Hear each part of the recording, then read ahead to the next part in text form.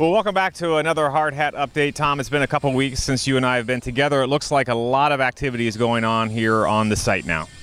Yeah, Steve, there is a lot of uh, activity going on. I don't remember exactly when we met last, um, but uh, you can see in the background there is quite a bit of stuff happening.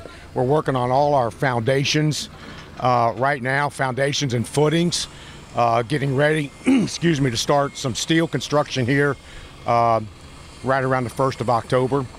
What you see in the background, excuse me, um, is they're starting to form up the walls. Um, that's the retaining wall that separates the upper level from the lower level. So probably later this week we'll pour our first wall uh, pour, and then I think there's two more after that that we have to have to do. Um, so yes, there is a lot of going on, uh, a lot going on, and uh, we're making some pretty good progress. So, how long will this process that we see uh, going on here uh, take? Take? Well, the whole uh, the whole foundations and footers thing is going to take another month at least.